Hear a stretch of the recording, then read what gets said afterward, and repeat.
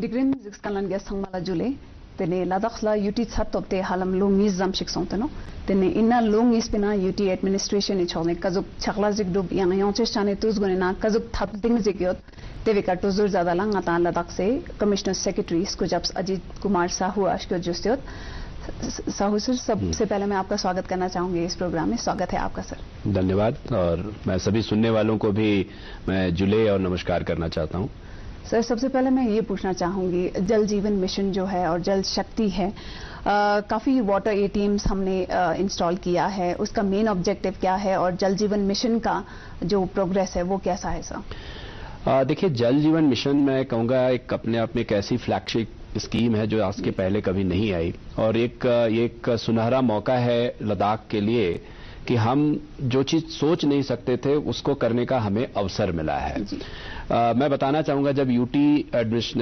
ये लद्दाख यूटी बना था उस दिन सिर्फ़ 1414 घरों में और कारगिल में तो सिर्फ़ एक सौ अड़सठ घरों में नलके से पानी जाता था। जी।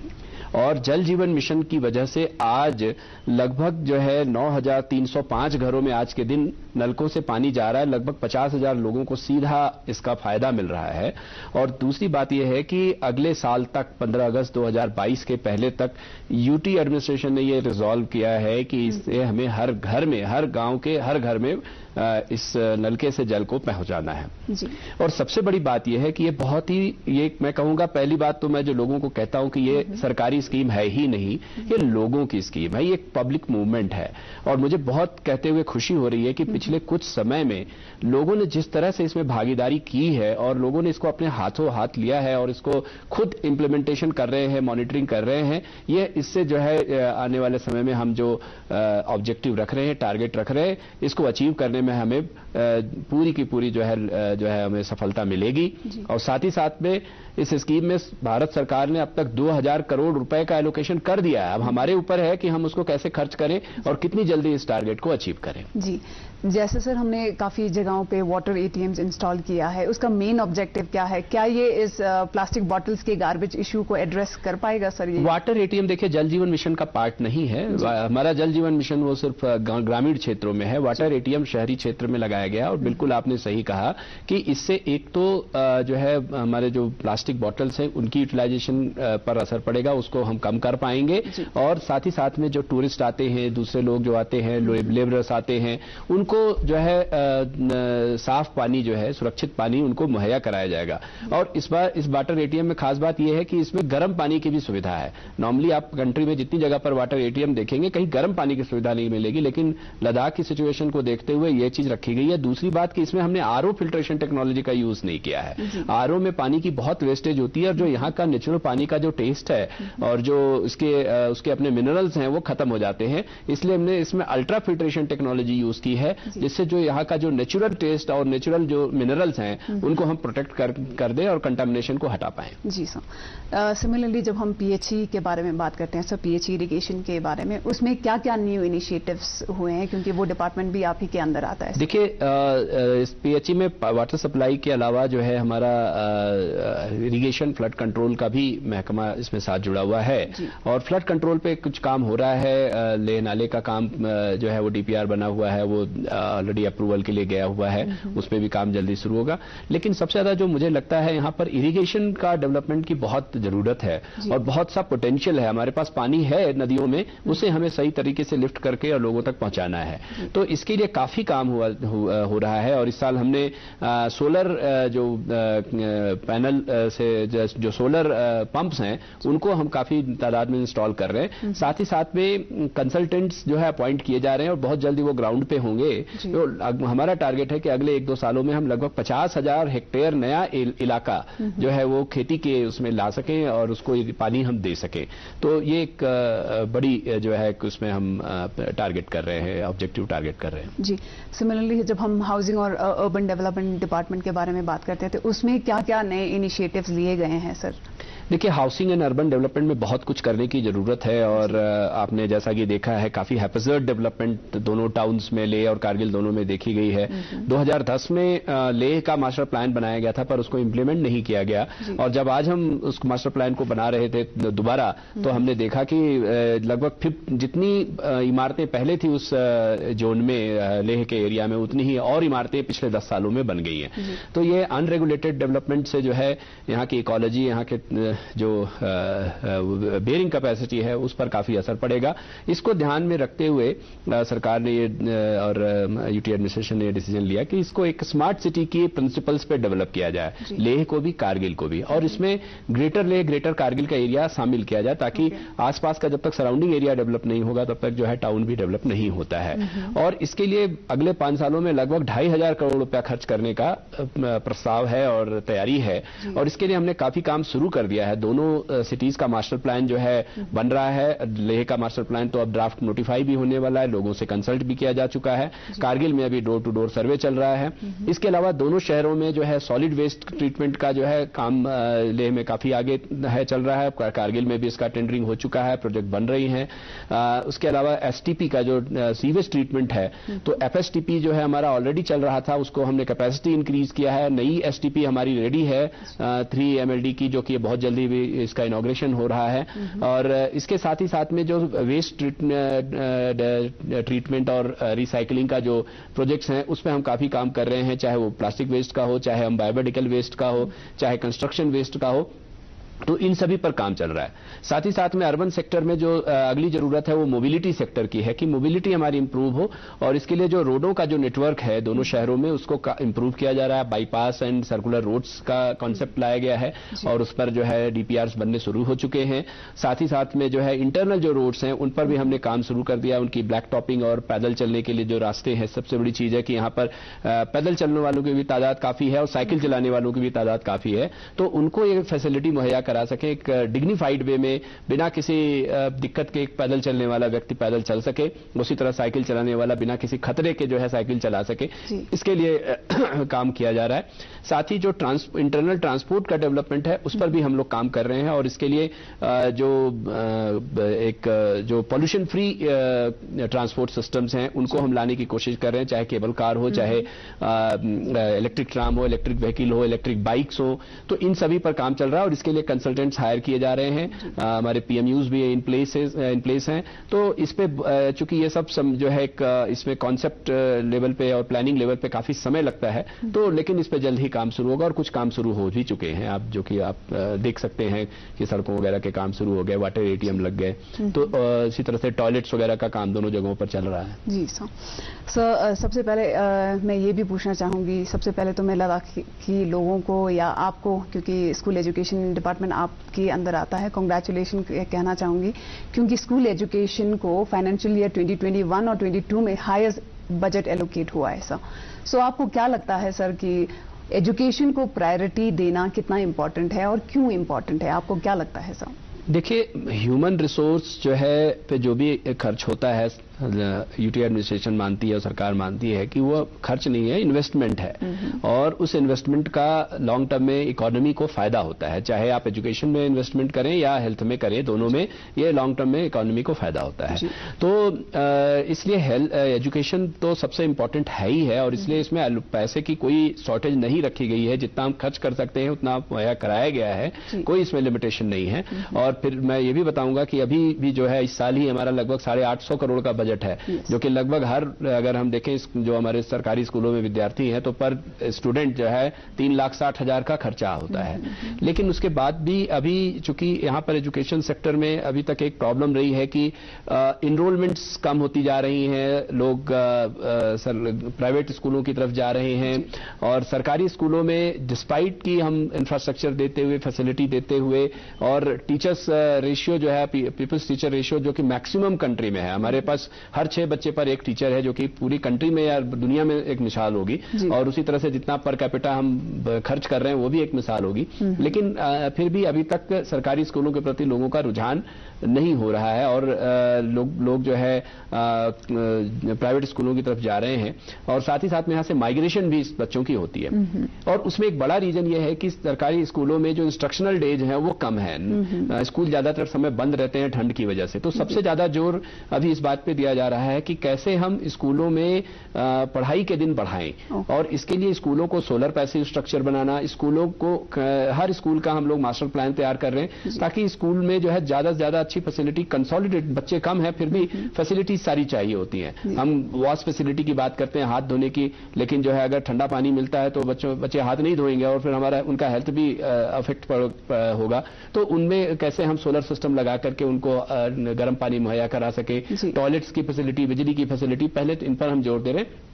उसके अलावा आ, हमारा जितने भी स्कूल्स हैं उनमें लैब्स और चाहे वो साइंस के लैब हो मैथमेटिक्स के लैब हो लैंग्वेज लैब हो तो इन तरह के लैब्स की फैसिलिटी और साथ ही साथ में दूसरे प्लेग्राउंड्स की फैसिलिटी इन सभी पर काफ़ी पैसे खर्च किए जा रहे हैं। और अगले चार पाँच सालों में खाली इन इंफ्रास्ट्रक्चर पे ही 500 करोड़ रुपए के लगभग खर्च किए जाएँगे।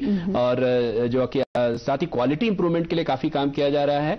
टीचर्स की ट्रेनिंग पर काफ़ी ज़ोर दिया गया। पिछले एक साल में लगभग एक लाख मैंडेज की ट्रेनिंग टीचर्स को दी हुई है और यूनियन टेरिटरी लद्दाख एक ऐसा अकेला यूनियन टेरिटरी है हम्म। जिसके 100 परसेंट टीचर्स जो है निष्ठा वन की ट्रेनिंग कर चुके हैं। तो उसी तरीके से हमने दूसरे ट्रेनिंग प्रोग्राम भी डिज़ाइन करवाए हैं हम्म। और ट्रेनिंग पार्टनर्स भी हमारे साथ में है तो इनकी ट्रेनिंग चल रही है। साथ ही साथ में आईटी का काफ़ी यूज़ किया जा रहा है। हम्म। और जैसा कि अभी आपने ज़िक्र किया यूनटैब जो स्कीम है जिसमें हमने टैबलेट क्लास सिक्स से ट्वेल्थ के सभी बच्चों को हमने दे दिया है। कुछ बच्चे चूँकि हमारी इनरोलमेंट इस बार ज़्यादा रही। हमारे सरकारी स्कूलों में इनरोलमेंट जो है लगभग साढ़े तीन परसेंट बढ़ी है पिछले एक साल में। तो उसमें जो है जो एक्स्ट्रा बच्चे आए हैं उनको भी टैबलेट मुहैया कराए जाएँगे बहुत जल्द। ही और जो टीचर्स हैं उनको भी अगले साल तक हमारी कोशिश है कि हम टैबलेट्स मुहैया कराएँ। और ये केवल टैबलेट्स ऐसा नहीं है कि एक डिवाइस है। ये अपने आप एक पूरा सिस्टम एक पूरा सिनारियो चेंज करने का तरीका है। तरी, जो पढ़ाई का जो तौर तरीका उसको बदलने के लिए कोशिश की जा रही है। इसमें हमने ऑफलाइन कंटेंट दिया है। और साथ ही अभी दोनों जगहों पर, दिल्ली में भी और कारगिल में भी स्टूडियो बनाए जा रहे हैं ताकि हम इस ऑफलाइन कंटेंट्स को और भी डेवलप करें। जी। फिर इसके साथ ही हम इसको आर्टिफिशियल इंटेलिजेंस से लिंक करना चाह रहे हैं और उसके लिए भी काम शुरू हो गया है ताकि जो कंटेंट बच्चे यूज़ कर रहे हैं वो किस तरह से यूज़ कर रहे हैं कितनी उनकी ग्रोथ हो रही है कितना उसमें चेंजेज हो रहे हैं वो हम एक जगह पर बैठ के देख पाए। और इसके लिए जो है हम इंटरनेट फैसिलिटी जहाँ जहाँ पॉसिबल है वहाँ तो मुहैया करा ही रहे हैं जहाँ नहीं पॉसिबल है जो हमारे ऐसे एरिया है जहाँ मोबाइल कनेक्टिविटी नहीं है वहाँ हम दूसरे ऑफलाइन तरीकों से उसको इन टैबलेट्स को कनेक्ट करने की कोशिश कर रहे हैं। साथ ही कम्युनिटी रेडियो हर जगह प्रोवाइड करने का जो है प्रयास चल रहा है। तो इन सब चीज़ों से क्वालिटी में बहुत इंप्रूवमेंट होगी। और चाहे अगर एक शिक्षक अगर मान लीजिए मैथ का टीचर जो है वो नुब्रा के किसी गाँव में नहीं है पर वो दिस्कित में अवेलेबल है तो दिस्कित से भी उनको पढ़ा सकेगा। और इसलिए सभी स्कूलों में स्मार्ट क्लासेस बनाने का मुहिम हमारा शुरू किया गया और इस साल मुझे बड़ी खुश कहते हुए खुशी हो रही है कि अगले कुछ दिनों में हम 91 जो है नए स्मार्ट क्लासेज और आईसीटी लैब्स का इनोग्रेशन करने जा रहे हैं। और इसके बाद हर हाई स्कूल और हायर सेकेंडरी स्कूल में 100 परसेंट लद्दाख के हर सरकारी स्कूल में 100 परसेंट जो है ये हमारे पास आईसीटी लैब और स्मार्ट क्लासेस होंगे। और अगले सालों में हम फिर मिडिल स्कूलों को भी कवर करेंगे इसी तरीके से। तो कहने का मतलब है कि टेक्नोलॉजी का भरपूर उपयोग इंफ्रास्ट्रक्चर पे पूरा ज़ोर ताकि जो है इंस्ट्रक्शनल डेज़ बढ़े और जो हमारे पढ़ाने वाले लोग हैं कैपेसिटी बिल्डिंग है हमारे टीचर्स बहुत अच्छे हैं हमारे स्टूडेंट्स भी काफ़ी टैलेंटेड हैं। उनमें किसी तरह टैलेंट की कमी नहीं है। लेकिन उसको एक शेप देना जिससे जो लोग यहाँ से बाहर जाते हैं पैसे खर्च करके उनका वो रुकेगा और यहाँ पर ही हम एक क्वालिटी एजुकेशन उनको प्रोवाइड कर पाए करा पाएँगे। कोविड के चलते हुए हमारे एजुकेशन सेक्टर को काफ़ी नुकसान हुआ है सर सो ये टैबलेट जो है दूर दराज के जो बच्चे हैं जहाँ पे इंटरनेट कनेक्टिविटी नहीं है उनके लिए भी बहुत फ़ायदेमंद रहे हैं रहेंगे राइट सर बिल्कुल देखिए सबसे दो बातें हैं। सबसे। पहली बात कि ये एक डिजिटल डिवाइड भी हमारी कंट्री में है। जी। कि एक जो संपन्न परिवार है जो संपन्न बच्चे हैं उनके पास तो टैबलेट होते हैं मोबाइल होते हैं जो गरीब तबके से आते हैं दूर दराज के गाँव से आते हैं वो उससे वंचित रहते हैं। तो हमने सबसे पहले उस डिजिटल डिवाइड को एक झटके में तोड़ा है। दूसरी चीज़ ये है कि इसमें जो हमने ऑफलाइन कंटेंट डाला है तो उससे जो है बच्चे को काफ़ी एक हेल्प मिलेगी और उसको एक खुशी महसूस होगी कि वो भी सरकार उसका ध्यान रख रही है और वो भी एक जो मेट्रो में पढ़ने पढ़ रहा बच्चा है उसकी बराबरी कर सकता है। जी सर। सर अब जब हम एम्प्लॉयमेंट के बारे में बात करते हैं एम्प्लॉयमेंट एक बड़ा इशू बना हुआ है लद्दाख में स्पेशली इन दो तीन सालों में। सो यूटी एडमिनिस्ट्रेशन की तरफ़ से कैसे कैसे स्टेप्स लिए जा रहे हैं इस इशू को एड्रेस करने के लिए सा देखिए जो जनरल एम्प्लॉयमेंट की बात है मैं उसके बारे में ज़्यादा बात नहीं करूँगा।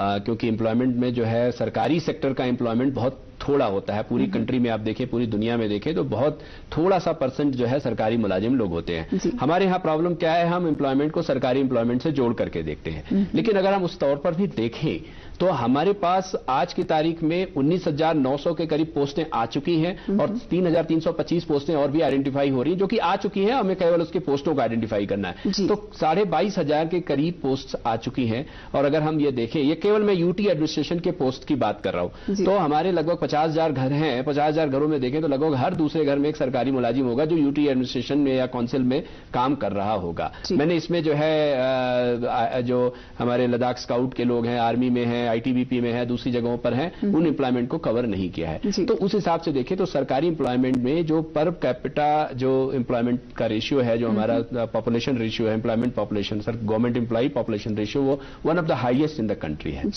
अब रही बात की जो है गवर्नमेंट जो पोस्ट है उनके अगेंस्ट रिक्रूटमेंट शुरू करने की। तो देखिए जब भी एक नया स्टेट या नया यूटी बनता है उसका एक ट्रांजिशन पीरियड होता है। और उस ट्रांजिशन पीरियड में लगभग तीन चार सालों तक जो है वो पुराना सिस्टम चलाया जाता है। लेकिन हमारे यहाँ जब ये लद्दाख एडमिनिस्ट्रेशन बना तो उस समय अचानक से कट हो गया और हमें अचानक से बोला गया कि आप तुरंत सब चीज़ें कार्य करिए।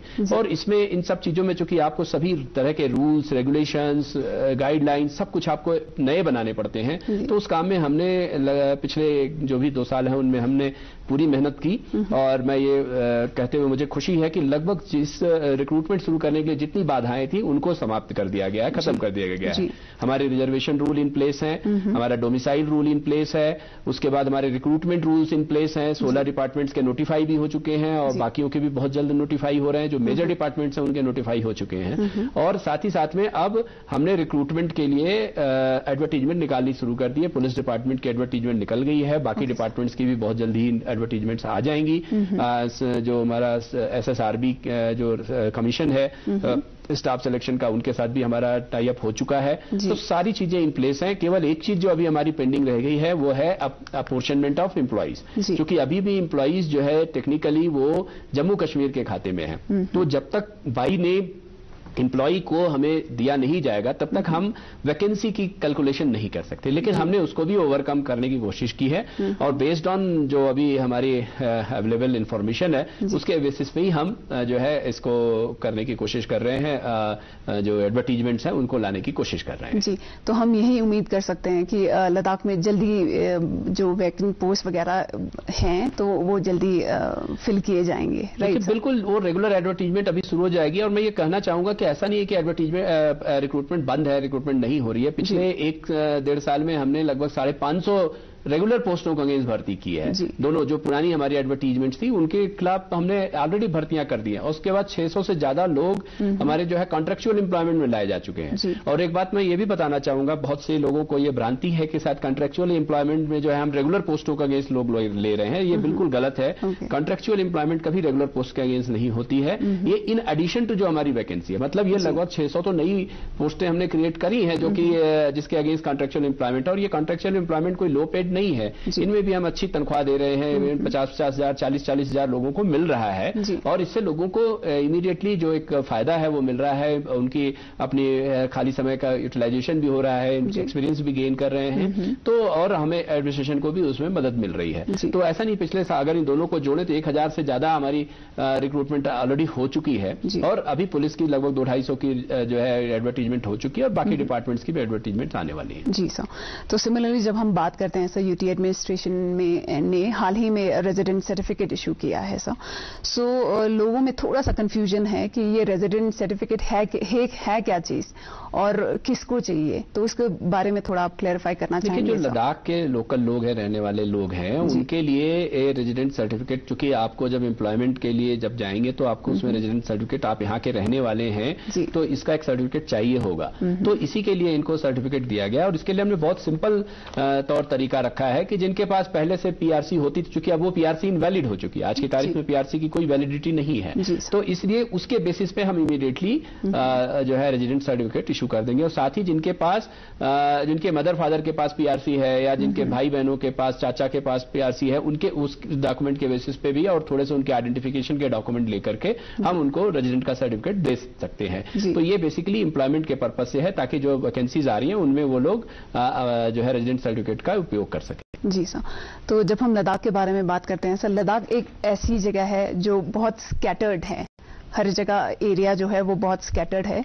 तो जब हम इंफ्रास्ट्रक्चर के बारे में बात करते हैं कितने रोड्स नए बने हैं कितने ब्रिजेस बने हैं और आगे क्या प्लान्स है इनिशिएटिव्स है और दूर दराज के फाफलंग एरियाज़ को कनेक्ट करना कितना इंपॉर्टेंट है उसके बारे में आप क्या कहेंगे देखिए कनेक्ट करना तो बिल्कुल इंपॉर्टेंट है और बड़ी खुशी की बात है कि लद्दाख में इंटरनली लगभग सभी जगह कनेक्टेड है। केवल दो तीन गाँव ऐसे रह गए थे जो कि अनकनेक्टेड थे उन पर भी काम चल रहा है। तो अगले एक, एक आध साल में कोई भी ऐसा इलाका नहीं रहेगा जहाँ लोग रहते हो और रोड नहीं हो।